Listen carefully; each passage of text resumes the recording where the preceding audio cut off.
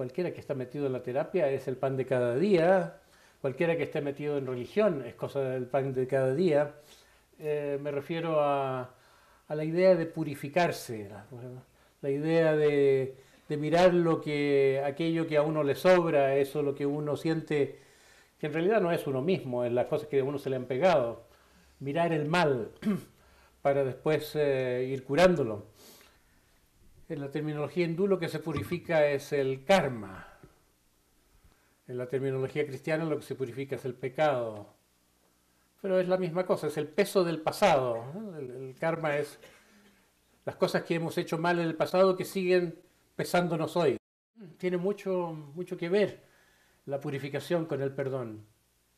El perdón que uno mismo pueda darse para estar en paz con uno mismo, la aceptación, que eso ya se habló, el perdón colectivo, el perdón del otro, eh, o el, otro que uno imagina, y el perdón divino. En un momento de la vida tiene que perdonar a los padres, tiene que entenderlos, y entender lo que pasó fue, fue la única manera que podía ser. Eh, estamos en un mundo causal y que todo tiene, estas cadenas de causa-efecto son tales que no puede uno desperdiciar el resto de las energías de la vida, estar siempre reclamando de lo que le pasó en los primeros años pero uno no puede fácilmente llegar a perdonar mientras no increpa y insulta y acusa eh, suficientemente porque uno no puede descubrir lo que a uno le ha pasado profundamente mientras no rompe ese tabú de, echar la culpa. Eh, cuando Dante escribió el Purgatorio en la Divina Comedia, no sé cuántos de ustedes hayan leído el Purgatorio, muy poca gente lee el Purgatorio. El infierno, se lee más, porque es más entretenido el infierno, claro. Pero el Purgatorio eh, son nueve círculos en una montaña, cada círculo está más alto que el otro, la fuerza de gravedad llega cada vez menos, ¿eh? porque está más lejos de la Tierra, la gente ya empieza a flotar mientras va más purificada.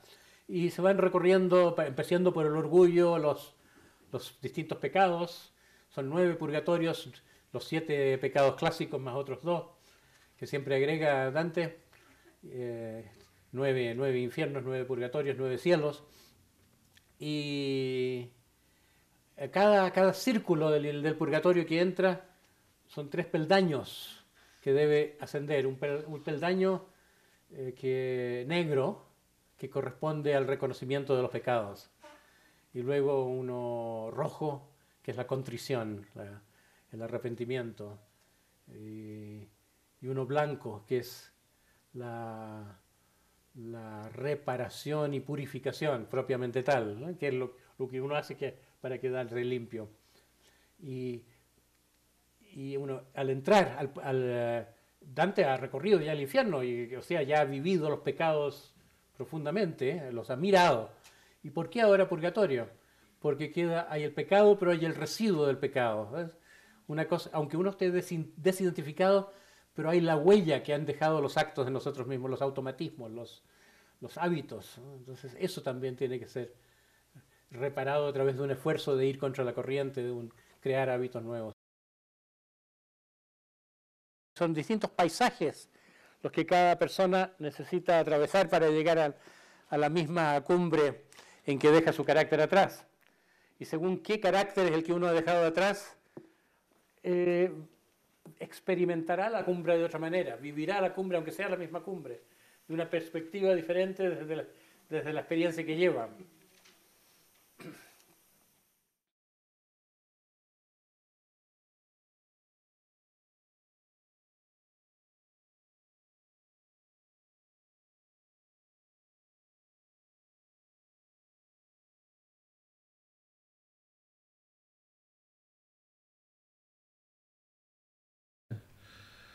I understand the spiritual path as one that comes from the common world to heaven. We all want to, when we're young, we want to get to heaven. And some come to heaven in life. That's people who have a mystical experience. In my own path, I have had that fortune. I used, I wrote a bio- autobiography that has not been published, and I call it Up and Down the Holy Mountain. I, I when I came to that mountain top, I thought that was my, the Mount Sinai of my life. I think we all have a potentially a Mount Sinai. It's in our human potential to come to the highest point and meet spiritual consciousness and get in some way fecundated by spirit by the spirit. And then we come down the other side of the mountain so to say.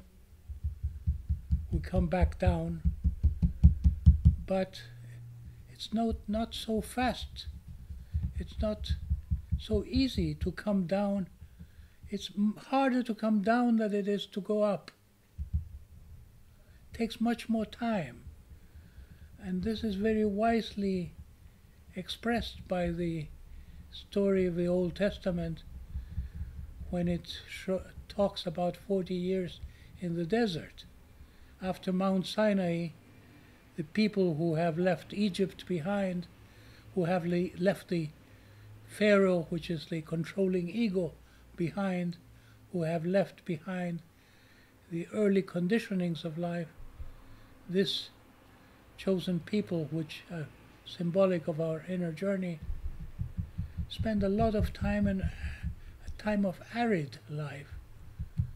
That's what St. John of the Cross described.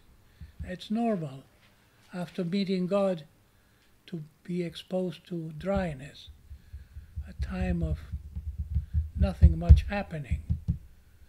And John of the Cross says it's as if God first holds you in his arms and then lets you walk by yourself. And then you feel deprived, but it's part of your training to not be in the hands of, in the, in the embrace of God. It's like a mother who first feeds you of her breast. And at a certain point, you have to learn to eat by yourself, to eat solid food and chew it. It's, uh, so we feel deprived of the, mu- of the mother when we are weaned, when we're not at the tit anymore. And it's summarized by a concept which doesn't even sound very spiritual anymore. Uh, we call purification of sins or redemption of sins transpersonal psychology today is not interested in purification of sin.